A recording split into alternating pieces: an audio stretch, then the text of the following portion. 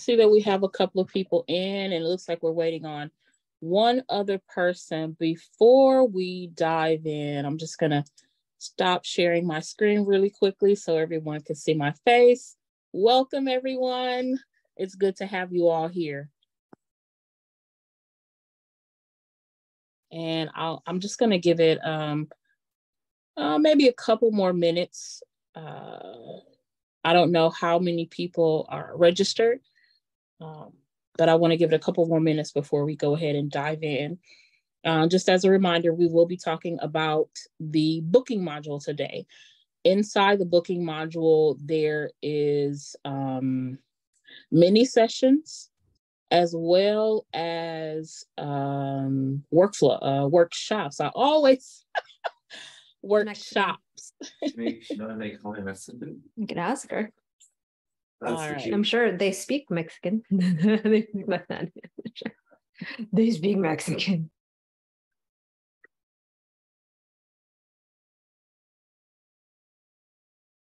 Okay, just a few, um, maybe I'll give it one more minute. Uh, now we're up to four. I think that's a pretty good number. It's also streaming on Facebook, which is good.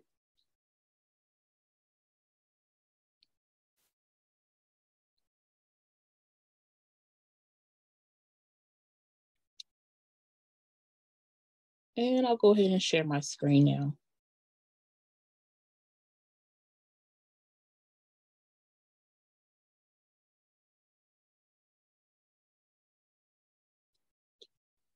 Okay. Uh, so once again, uh, today's webinar is about the booking module. Uh, the booking module is an add-on, uh, so it is not included with the uh, regular ShootQ subscription. Um, if you're paying annually, it's $90 for the year. If you're paying monthly, it's $10 per month. And I'm just going to go ahead and jump in by clicking um, booking. And so I have a few things here. I'm going to start with um, mini sessions. Um, mini sessions and workshops are actually what this module was designed for.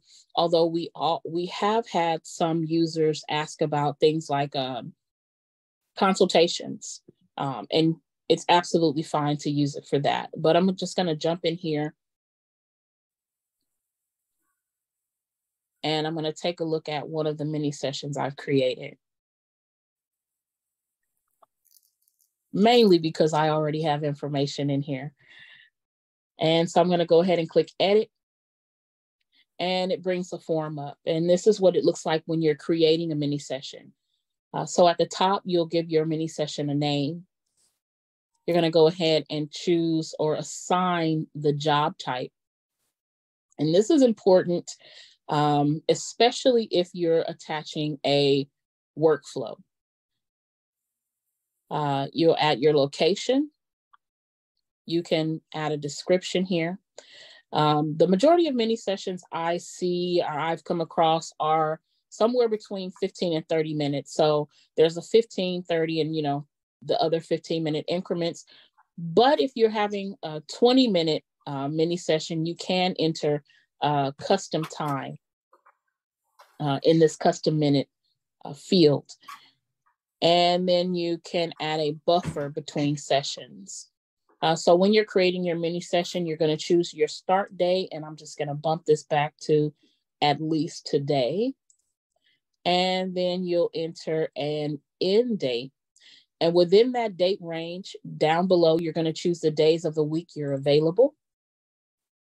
You'll add a start time and an end time. And since we are nearing our later days, I'm just going to go ahead and take this back to about 5.30.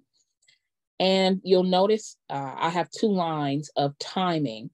Um, my first start time is at 11 and ends at 12.30 and then I, there's a break between 12.30 and 1.30 this is ideal if you want to you know schedule a lunch in your day or something like that and then uh, the end time for the full day is at 5.30 If I wanted to add another period, I could do that here. Uh, next up, we have blackout calendars. So I have integrated a Google Calendar with this account. And if I wanted to, I could use my Google Calendar uh, as a blackout calendar so that no, um, so that this mini session doesn't happen at the time of any of my personal events or any events being pulled from that external calendar. Um, so with that being integrated, I can um, choose which calendars from that Google Calendar I want to factor in for my availability. So I'm here, this would be my personal event. So this would be my um, my Google Calendar itself. Uh, those events added directly into that calendar. I've also added my ShootQ, the booked jobs from my ShootQ account to that Google Calendar. So um, my mini sessions also will not interfere with anything that I've booked, like any family sessions, any portrait sessions, engagements, weddings, seniors, those type of normal um, sessions that I have booked in ShootQ uh, won't interfere with my mini sessions. I've set a price to $200 and the reservation time is 30 minutes. I'm sorry, I, there's a question, Mike. No, no question. Okay. Um, and by the way, um, I will, we will have time for questions at the end. Uh, so, and you guys will be more than welcome to answer the, uh, to ask those questions then. Um, there are two merchant accounts integrated in this account that I'm using. And so uh, of those two, I've selected Stripe. Um, and just by the way, we have, we integrate with five. I don't know if anybody on the call is um, not a ShootQ user or not familiar with ShootQ, um, but we also integrate with Authorize.net, Braintree, and PayPal Payments Pro. So I've selected Stripe. I've uploaded an image to go along with this mini session. I'm going to send out this booking confirmation email to everyone who books, and that goes out pretty immediate. I've also added a contract. And if I needed to add sales tax to um, these sessions, then I would be able to add my um, sales tax template here. When the sessions are booked, I'm going to have ShootQ create a job for me. Now, you don't have to do that. Um, why I like to do that is because um, when a job is created, I can attach a workflow. That way, I'm firing off reminder emails and um, questionnaires and things like that. I also have the box checked to have a comment field on my um, uh, when they're booking their job. So I'm just going to go ahead and click create. When you've created your mini session or your workflow, um, after it's done, you're going to get a link. You can share that link wherever you like. So I'm going to go ahead and click copy link here.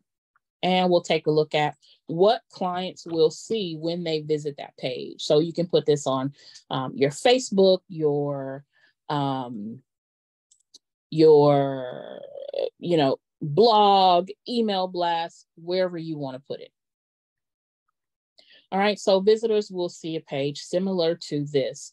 I have all of the details uh, at the top. And then down below is where they're going to choose their date and time. And as you can see, there are some dates and um, times blocked off, and that's coming from uh, my blackout calendar. So once they go ahead and choose their date and time, they'll fill out that information.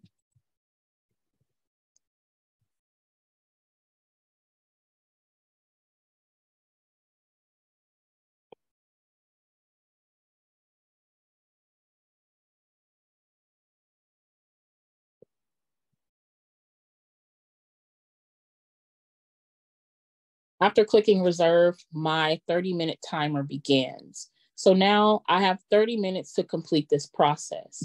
So I can take the time I need, and I've just got a notification. So I have just now received the um, email that was scheduled to go out to everyone who books. Uh, so I can take my time to read the contract.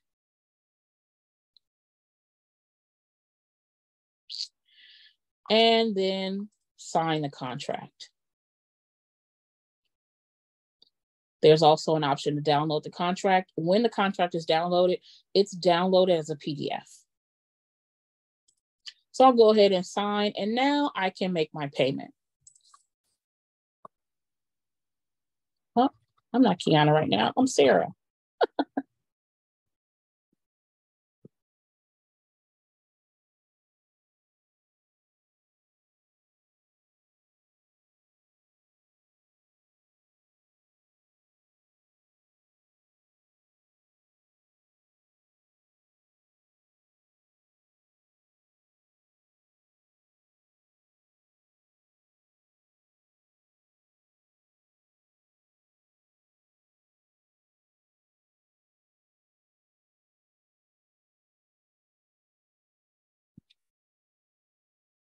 So just so you know, uh, there is an error message that comes up if there, uh, for some reason that payment doesn't work. But I just wanted to give you guys kind of the full effect of what that looks like for the client. That time's also blocked off. If for some reason the client chooses a time, clicks reserve, and within that 30 minute time frame, they do not complete the booking process, ShootQ will void their appointment and make it available to someone else. I'll click refresh here so that we see what it looks like on our end when someone books. Uh, so we have their information. It's also created a job. That job name is their last name and then the name of that mini session. So I'm going to jump over to their job. It's created a job that's already active. And when I go to my timeline, I can see that mini that mini session workflow that's already attached. There's a reminder email being sent. I have a task ready to be checked off and an email that's going to be sent when this task is marked complete. And that's all part of my workflow. In the documents, I can see that there's a contract. It's pending my signature, so I'll go ahead and countersign that contract.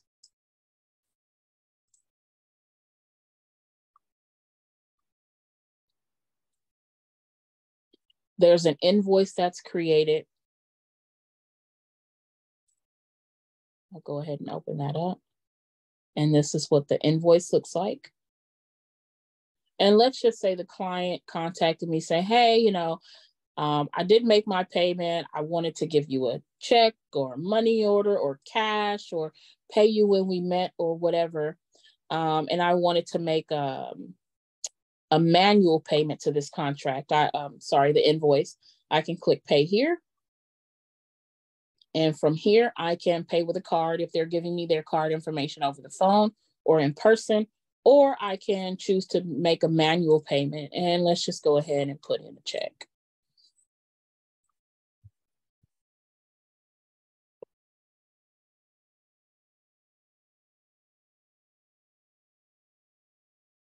And we're all set.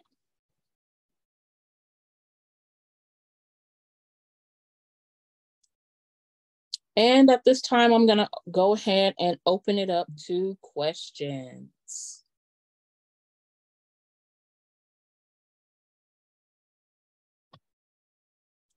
Anybody have any questions about the booking module um, or uh, uh, any questions in general? And while I'm waiting on questions, I do have um, a workshop that I'll go ahead and review too. Uh, the workshop is pretty much the same. There aren't many differences. One difference with the workshop is I can choose the number of slots or spots Will this be recorded for viewing later? Yes, it's uh, being recorded now and we will make it uh, available for viewing later. Absolutely. Okay, and so um, I have five spots. You're welcome, Dwayne. um, five spots available, and then the spot limit um, for anyone who books, they are able to book one, one spot at a time. Um, and aside from that, everything is pretty much the same um, with that available spots difference with my workflow. Um, but I will go ahead and copy link and we can take a look at uh, workshop. I said workflow again. Uh, and so this is what it looks like for the workshop. I have one with a picture. Let me, uh, is this the one with a picture?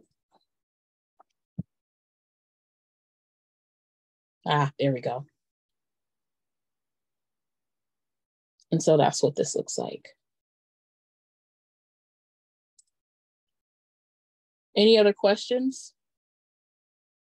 You can put your questions in the chat or you can um, unmute yourself and ask your questions that way.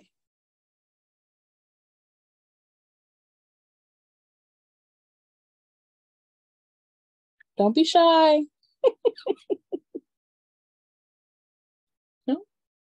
No questions?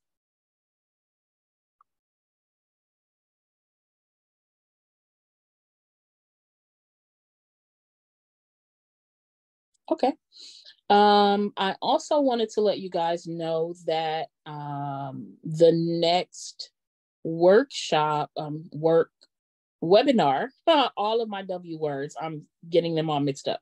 Uh, the next webinar is going to be focused on um, financial information. So, uh, invoicing, uh, billing, automatic payments, those are the types of things that are coming uh, I hope to see you all again. Uh, spread the word if you have, um, if you know anyone else who would like to join us, or maybe you know somebody who's considering ShootQ and they would like to sit in on a webinar and get a look at what the software looks like and how things work. Please invite them.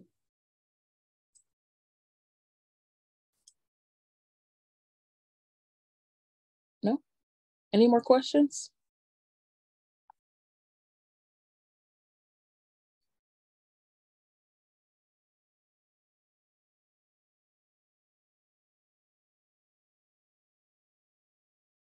Okay.